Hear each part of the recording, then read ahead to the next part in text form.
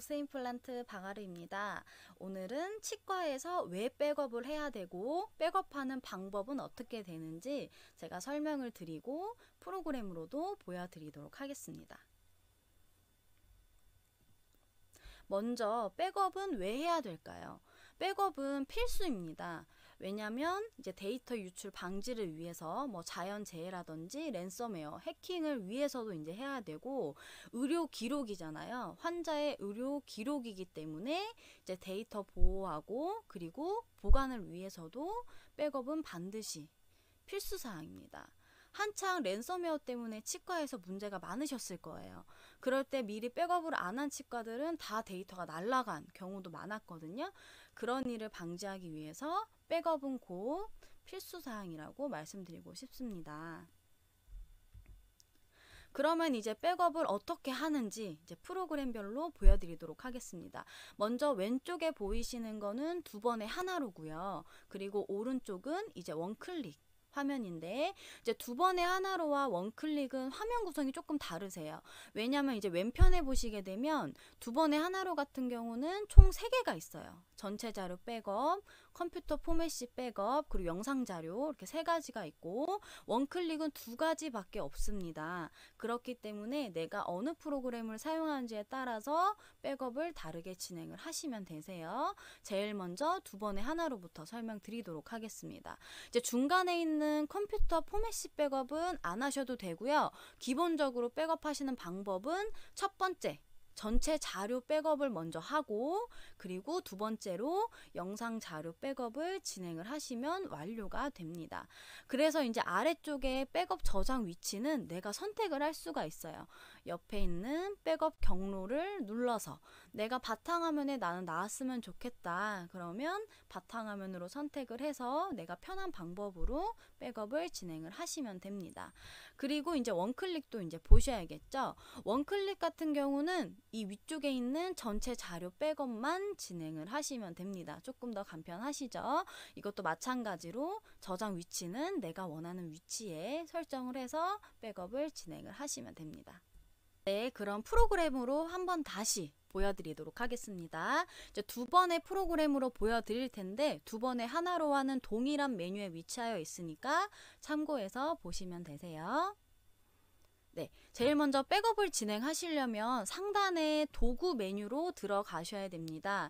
도구 버튼을 눌렀을 때 중간쯤에 백업이라는 메뉴가 있으세요. 그래서 백업으로 들어가시게 되면 이렇게 백업 유틸이라는 창이 발생을 하게 됩니다. 앞전에 이제 자료에서 보셨던 것처럼 동일하게 생겼죠. 그러면 제가 설명드린 것처럼 위쪽에 전체 자료 백업을 1차로 진행을 하고 그리고 영상 자료를 2차로 진행을 하시면 됩니다. 그래는 이제 그런데 이제 백업하기 전에 위치를 설정을 해야겠죠. 화면상에서도 저장 위치를 반드시 확인하라고 뜨세요. 왜냐하면 이제 위치를 설정을 안 하고 그냥 해버리면은 내가 백업을 어디에다가 했는지 찾아야 되거든요. 그렇기 때문에 저장 위치를 먼저 선택을 하고 이제 진행을 하셔야 된다는 점 기억하고 계시고요. 그러면 저장 위치부터 설정을 해보겠습니다. 여기 저장 위치가 이렇게 나오는데 옆에 있는 백업 경로 버튼을 눌러서 내가 어디에 저장을 할 건지 선택을 할 수가 있어요. 저는 바탕화면이 편하기 때문에 그냥 바탕화면으로 체크를 하도록 하겠습니다. 바탕화면으로 이제 확인을 해서 자동으로 데스크탑으로 변경이 됐죠. 그럼 진행을 해볼게요. 전체 자료 백업을 누르고 그리고 백업 시작을 누르게 됩니다. 그러면 이렇게 백업 중이라고 이제 진행 사항이 나오게 되세요. 그래서 완료가 될 때까지 기다려 주시면 됩니다. 이렇게 잘 진행이 되고 있죠. 이렇게 창이 하나가 뜨고 아래쪽에 백업이 올바르게 완료되었다 라고 이제 뜨게 되면은 확인 버튼을 눌러서 종료해 주시면 되세요. 그럼 그 다음에 영상 자료도 하셔야겠죠. 영상 자료 백업을 동일하게 눌러서 백업 시작을 눌러줍니다. 이제 영상 자료 같은 경우는 용량이 클 경우에는 시간이 오래 걸릴 수 있기 때문에 중간에 종료하지 마시고 그대로 두셔야 되세요. 그래서 예 눌러서 이제 진행을 합니다. 네, 이렇게 성공하였습니다 라고 뜨시면은 완료가 되신 거예요. 그러면 이제 이 백업 파일이 어디에 어떻게 있는지 한번 그 부분도 보여드릴게요.